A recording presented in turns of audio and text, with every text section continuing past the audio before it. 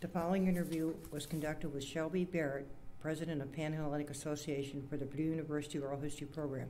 It took place on Wednesday, April 28, 2010, in uh, Archives and Special Collections. The interviewer is Katherine Markee, the Oral History Librarian. Welcome, Shelby. Good afternoon, and thank you very much. Thank Just you tell for us a little me. bit about where and when you were born and the early years. I was actually born in Lexington, Kentucky. My family um, grew up in Kentucky our whole lives, and I was born in April of 1989 and grew up there for about seven years. My family is actually the only ones that kind of branched out and moved to Indiana, so we're kind of the black sheep of the family. Um, we moved to Carmel, Indiana when I was seven years old in kindergarten. And my mom was actually a teacher at the school that I was at in Lexington. And then she became the principal of my elementary school. So definitely. How, how was that? I mean, in elementary school, it's okay for your mom to be the principal. If it was a little bit older in high school, maybe it wouldn't be as cool. But um, I definitely little- made sure to keep in line and act good because I knew mom was always around the corner. So. What, tell, what tell us about grade school and then go on into high school. What was grade school like? Um, grade school, I went to Forest Hill Elementary in Carmel, Indiana, and it was it was a great experience. It's a it's a beautiful school, and we actually have about eleven elementary schools um, that filter into the Carmel Clay school systems. So it's a very large city, but it was a great experience, and I actually had the same teacher for second and third grade, and she's still a close family friend. Paige Rago is, and I actually nanny for her son over the summer a few years ago, and she just she's taught me a lot of the things um, about hard work because she was a little bit hard on us in elementary school, and I guess you don't figure that out until an older age, but it's definitely much appreciated. Good intentions always because she knew she knew what we were capable of and the potential that we had. So Super. she never let us settle for anything but our best. Then go on to high school. Tell us about high Um, school. high school, Carmel High School is one of Indiana's biggest high schools. It's about 4,000 kids, and it keeps growing. They had to build a new freshman center. And my graduating class in 2007 was around 931 people, and we actually had to hold it at the Verizon Music Center in Noblesville, Indiana.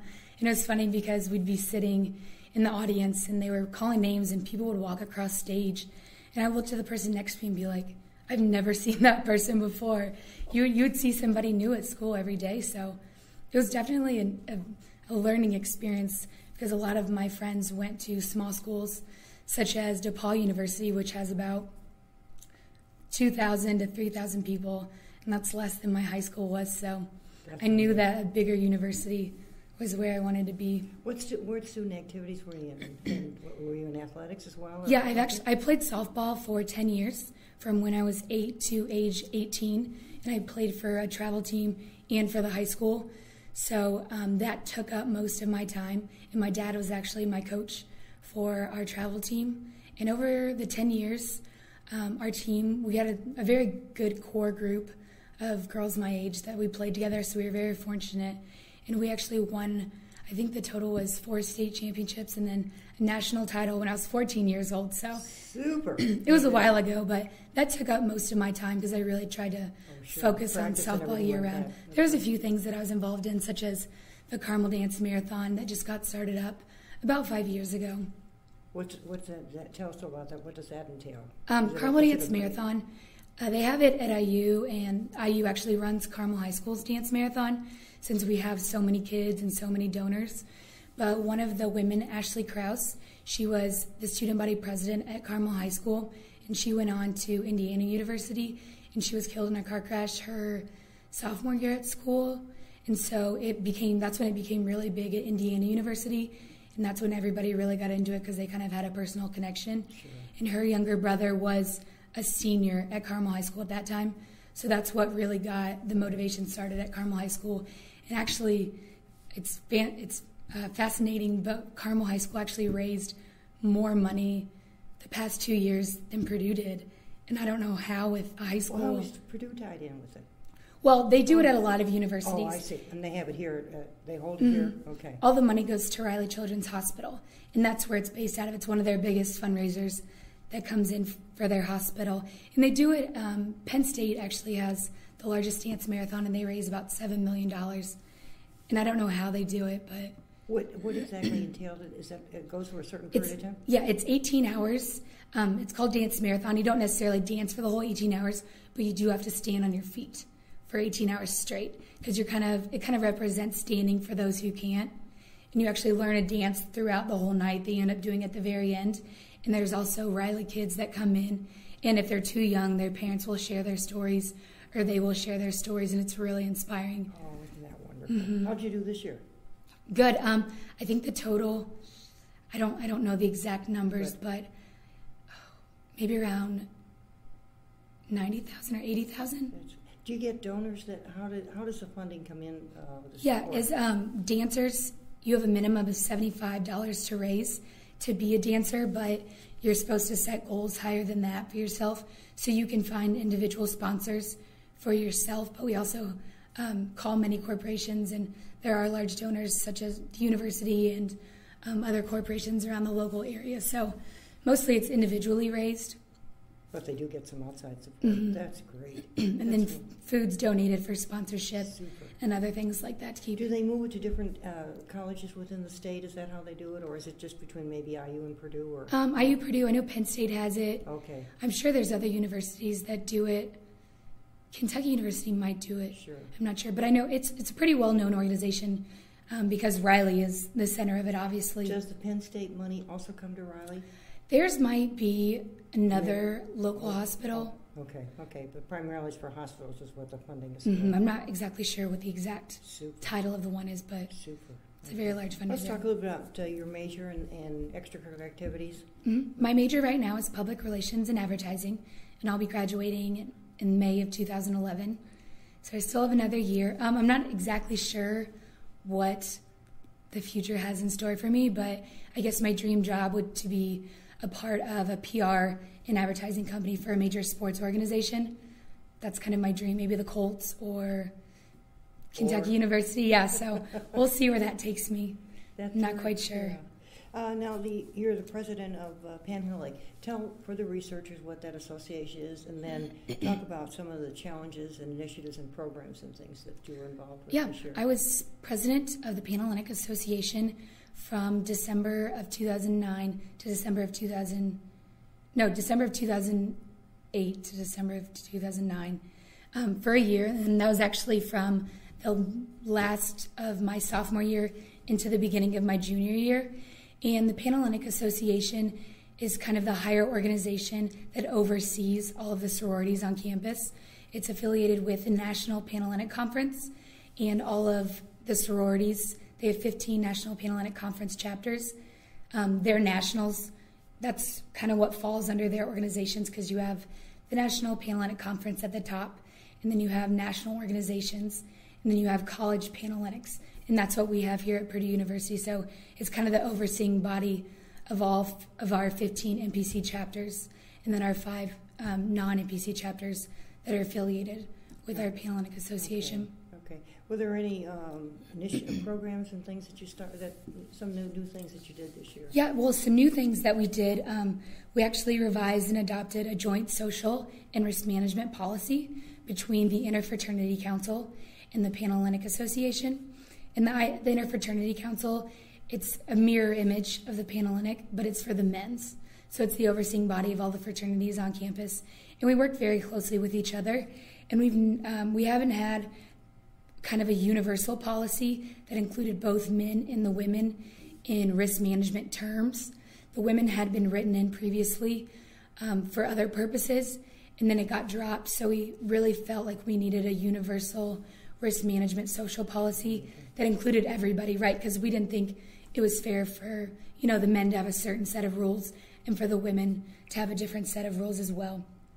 And then within that risk management policy, um, a new organization was created called Caliber, and it's an independent organization of the fraternity and the sorority community. But they kind of serve our community through education and observation. And Corey Baltima is the current president of Caliber, and what their main goal through education is um, they go to each individual chapter houses for fraternities and sororities, and they can give presentations such about things as you know eating disorders or binge drinking, and he has actual chairs that that's their main responsibility. And my um, individual sorority actually had them come, I believe it was last Monday, That's- to give a binge drinking presentation. So really, their main goal is just to educate everybody on the risks of alcohol and all the other risks that um, we we as college people face. Uh, Right, okay, Mhm. that's, that's very good, yeah. One thing I was gonna ask, didn't Panhellenic used to do your plant sale? Yes, they did used to do the plant sale. Um, we we had a switch in advisors. Um, Kyle Pendleton is the director of fraternity and sorority life, and Diane Blackwelder used to be a director of fraternity and sorority life. And when um, it was kind of her thing, she loved it a lot. And but there been wasn't. going for some time. Yeah, it had- it had Right, been going, I but- to buy, buy plants. Yeah, and there wasn't a lot of funding going on.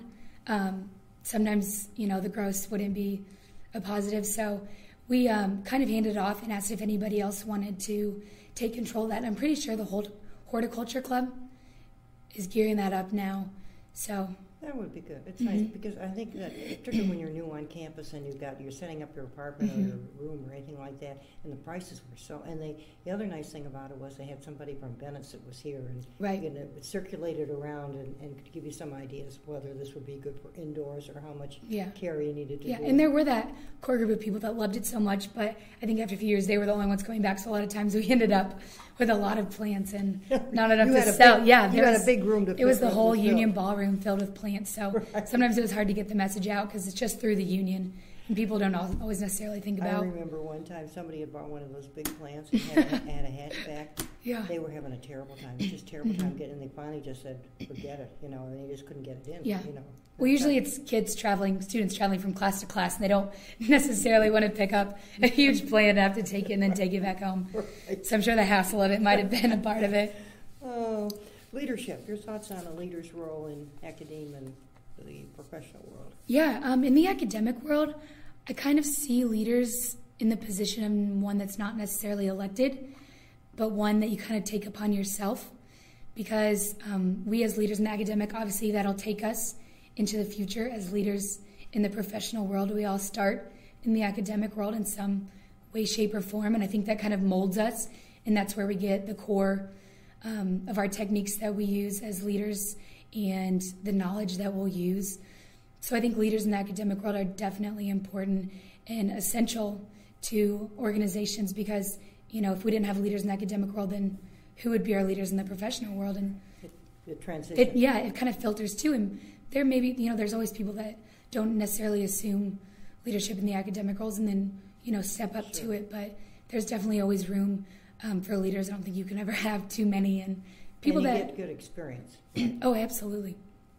Um, experience is one of the best things you can have because you know when you go into a job interview and all you have, you know, is academics. Experiences are a huge part of it as well, and your involvement. So, Sure. How Mhm. did you get, were you, uh, how did you get elected? Had you had other offices in the association? um, I they have kind of a junior Oh, Panhellenic, what we call the Associates Board, and it's uh, primarily for freshmen, um, kind of sophomores, to learn the ways of Panhellenic. So, kind of almost an internship with the Panhellenic to see how everything's run and to talk to girls. And, you know, you help out as well, you, your assistants to some of the directors. And so, one of my mentors, actually, Lauren Mizowitz, she was one of the vice presidents of Panhellenic when I came into my freshman year, and she really encouraged me to get involved because I knew I wanted to get involved, but I would just really wasn't quite sure where my fit was going to be.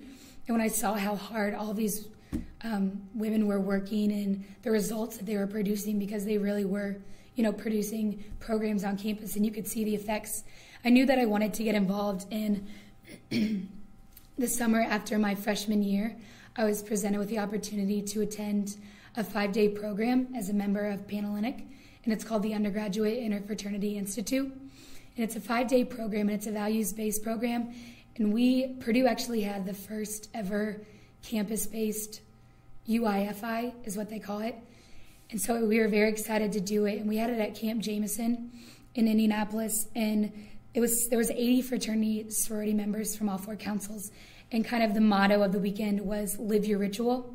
Because I know a lot of times, you know, we think about the history of our fraternities and sororities and when they were founded, you know, in the 1800s or the early 1900s. Sure, And you think back about, you know, the real reasons why, what they were founded upon and the values. About what brought them in? Right, and a lot of people, you know, we ask ourselves the questions if our founders came to our chapter today, would they be proud of the legacy that we're living? Because they went through a lot to, you know, get to where um, the chapters are today. And we just really try to they try to instill in us um, the passion to just live your ritual every day and if you're making your founders proud because there's a reason why they started there And why it's lasted so long. right and why it's lasted so long And exactly spread to other, in- other places. exactly you can just see the large impact that it's had so just really you know living your ritual on a day-to-day basis and it just kind of reminds us um, of the our founders and the core reasons got started. why or yeah just kind of like taking us back to our roots because i think sometimes that helps people kind of remember why they're doing what they're doing And it puts it in a focus too, and, and it's good, it's good background information, I think. Right. For people. and the the core of the motivation and the passion that I kind of had for the Panhellenic stemmed from this UIFI experience. And I knew going into my sophomore year, I wanted to assume a higher position in Panhellenic, but I just really wasn't sure what that was going to be. And I had a lot of people approach me and be like, you know, maybe you should run for president. And I was a sophomore at that time, and the thought of that kind of scared me to no end. And you know, I didn't know if people would think of me, you know, because there would, if I got the role of president, there would be people working under me that were two years older than me or a year older than me. And I don't necessarily have a problem with that, but I didn't want other people to have a problem a problem with that. So I guess I just I got the confidence to do it from a lot of my mentors that believed in me, and I gave my speech and I answered my questions and before I knew it, I walked back in the door and they were congratulating me. So I, I was very humbled by the thought that people really thought of me in that way and believed in me. It was a nice, a nice thing in your cap that they really, that you really, you merited and you really had shown that you were more than qualified. Right, and it, it was definitely um, a valuable experience, despite all the hard work and long hours that were put into it. You know, coming home really late at night, waking up really early in the morning, and have no free weekends to do anything. But honestly, I wouldn't change it for the world because it's made me who I am today, and I know you know my experience in the Panhellenic Association will probably take me further in my life than almost any class ever will. go. Just just from the experience, it was That's right. it was an amazing experience. I had given you that in, in the President's Forum, Pete Crockett, I wondered if you had any comment Yeah. on those. Um, I Had- actually Had you, have you uh, been in anything that he's spoken at? I didn't hear his exact Okay. speech, but I've I've heard of the challenge model before, Okay, or uh, I believe it's called the challenge model that he spoke about. something like that, right? Yeah, with the five different steps, and I just kind of like had some things in mind that I thought about each one because I know his first step was challenge the process, and I guess my thoughts about challenging a process is doing what's never been done before. That's kind of what I see as challenging the process because I think leaders are somebody who can kind of take us to a new place that maybe we necessarily might not have thought was possible or didn't wasn't imaginable But we know it's there. but we know it's there absolutely leaders um, they like to transform the organization. Sometimes managers you know they just like to maintain the status quo and make sure companies are maintaining the best. But i really think leaders like to transform in some way because they have an idea. And then obviously the next um, part that keith crock talked about was inspiring a shared vision. Right. and obviously you know leaders as i said before they can see what others um, can't see. And you have to be able to articulate your vision clearly. And i think i experienced that kind of during my speech when i was running for a panhellenic president because you know what you want to do and but people may not necessarily get the same message as you're articulating so you have to make sure that everybody is understanding clearly what you're saying so there's not any mixed messages Right, exactly. Good point. Very Mhm. good. Uh, enabling others to act. Yeah, well, I mean, obviously, for you to accomplish a goal or to accomplish a vision, you have to have the support of others, and you have to be able to encourage others and have trusting relationships with them if you want them to come along with you in any capacity and to go along with what you're saying. And you have to have their support, but you have to also support them as well, and you have to have your goals Right. to enable others to act so they see kind of the end goal in mind and see progressively where an organization could be rather than just where it And stands. where you fit in and how you can make it exactly everybody's position Right. and where they fit in. Good, good point. Uh, encourage the heart. Yeah, I think that's one of the most important things that always sticks out when I see that something about encouragement or about, you know, the heart because even in, you know, the real world, you can't just tell people what to do. If somebody tells you what to do, you're not really sure why that person told you to do it. And I think the real reason behind visions are why. Why do you want to do this? Why should I do this? Why are you making us do this? Or why are you telling me to act in this way? Or why should I follow you in this direction of your new vision? And if you don't give people a reason why, I mean, they have no real reason. And they may not react properly, which they should. Yeah, you want, you're looking at it from both standpoints. Exactly. think. And I think people in our world like to have a purpose Right. and a reason for their actions because, you know, sometimes when you get in your daily routine of work, um, you kind of wonder, you know, why am I here? You know, you kind of forget that sense of why you wanted to do it That's right. in the first place. And so you have to keep that in mind from beginning, middle, that's to end. Keep the focus in perspective. Right, good point. Exactly. And then model the way is the other point that he had. Yeah, He has some others, but these are the key ones. Right, and I guess the first thing, Yeah. you know, when I think that, you have to practice what you preach, as everybody say, because you can't expect others to do what you say if you're not willing to do it yourself. And I know one of my favorite quotes is, "A great leader's courage to fulfill his vision comes from passion and not position." Because leaders aren't necessarily always in a position of, you know, power or hierarchy, but if they have that passion, they'll be able to model the way. Because I think a leader is someone who who knows the way, goes the way, and shows the way. Because you can't just go by yourself. And you can't just know what needs to be done, but you have to have others on board. Right. for anything to be Very accomplished. nicely said, that's nice. The uh, mortar board leadership, did you, have you attended those?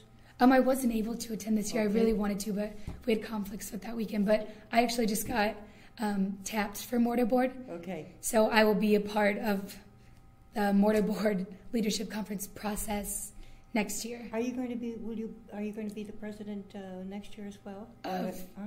Of the Of Panhellenic? or- or no, I my term was up in December, Oh, Okay, and it's been passed to Mia McCurdy, the new president. okay, So she has that until December. okay. I'll have to try to get her as well, then Yeah. that's good. Um, How about a favorite Purdue tradition? Do you have a tradition of Purdue that you like? Favorite Purdue tradition? Hmm, that's a tough one. There's so many good ones. Well, pick- it doesn't, doesn't, it can be more than one, you know. Um, I, I really enjoy Grand Prix a lot, just from its um, from the history of it to how we do it here. Because I know a lot of other schools have traditions that they do every year, and some are centered around homecoming, or you know, Indiana University has their Little Five. But I really think Grand Prix is a huge tradition here that everybody gets excited about. You can just feel the excitement on campus, and the fact that these people, you know, build their own um, cars to race. It's just it's fascinating to me. And I think it's going to be interesting if they go with the electric. And Right, I, I saw that in the paper you? today. Yeah, Yes. it's, it'll be interesting, and it's nice that they had that. Um, and also the other thing, of course, I live near where the old Grand Prix there, Mhm. and I sort of I miss it um, because I used to, you know, and they would be practicing and things, and watching the people go over there, and uh, Yeah. I, I really do miss it. That's exactly what one of our mortarboard advisors said. She said she misses just hearing the cars go round and round as much as she kind of was like, you know, is that noise ever going to stop? She kind of misses it now that it's It gone. It never bothered. It was wonderful. I really, you know, and years ago, they used to have a carnival about that time before the, the stadium, and the and Somebody people mentioned that. they used to bring uh, their children and things of that sort. And it was sort of nice because they had a Ferris wheel, and you could see it at, at night, sort of, you know, with the lights and everything. But they haven't had that in a long No, that's time. such a coincidence because at the same mortarboard meeting we were talking about our Sure. favorite Purdue Somebody- traditions, our favorite things about Grand Prix, and she brought up the carnival, and we all kind of looked at each other and we were like, yeah. let's have a carnival. Yeah, Let's do it. It sounds Oh, exciting. Um, do you have an outstanding event? Is something that comes to mind? An Of- outstanding event in your life? that I've experienced. Yeah.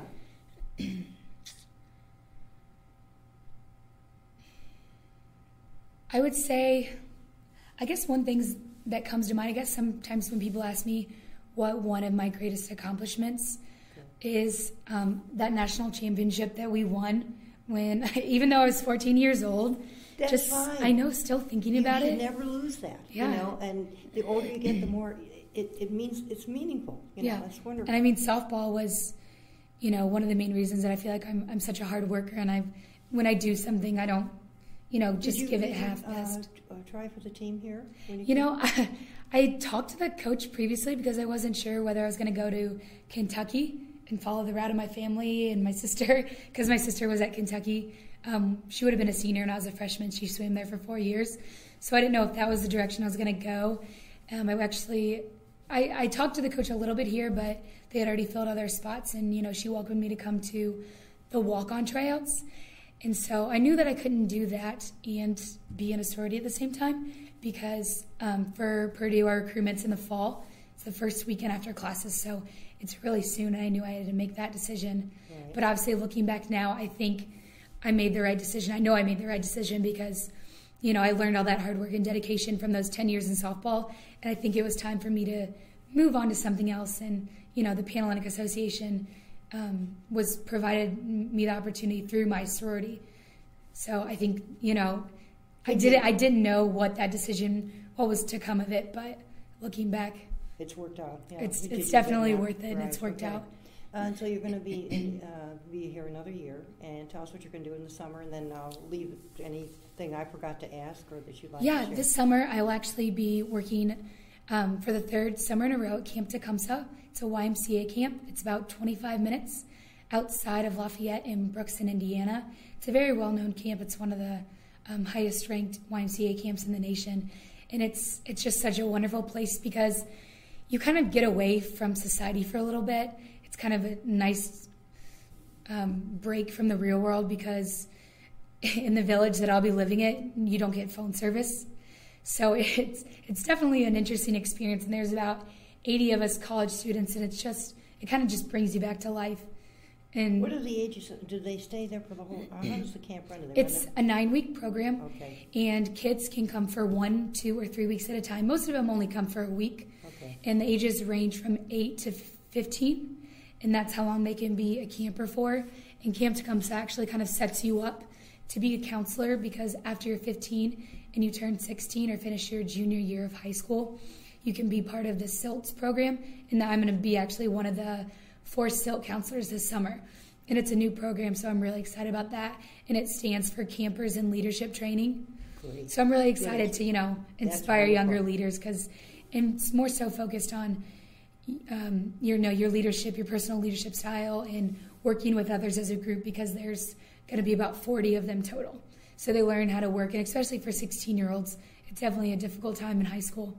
So it's good for them. And then if they want to move on to be counselors one day, it kind of sets them up, and they actually get a shadow some of the counselors. So That's very. What sort of activity? Do they have swimming out there too? Yes, we have um, two pools and a lake, and we just got a blob tower this for the summer. I don't know if you know what a blob tower is, but it's a big inflatable kind of tarp, I guess you could say. It looks like just a big pillow, but one person sits on the end of it and the other's up in a tower, and you jump on it.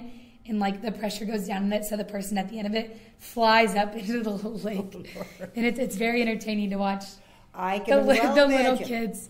You know, there's kayaking and canoeing and a rope swing and water slides at the lake. Super. Yeah, and then we just we do a lot of activities. It's summer camp's definitely one of those experiences that you always remember as a kid. Right. And it's and it's it's nice, you know, and it's really it, it sort of makes the time pass, and it's something a little different. Oh yeah, and it's just beautiful because you live in a cabin, and some of my friends are like, you know, I don't know how you do that for so long because we don't have AC in the cabins, and sometimes you find the occasional bug.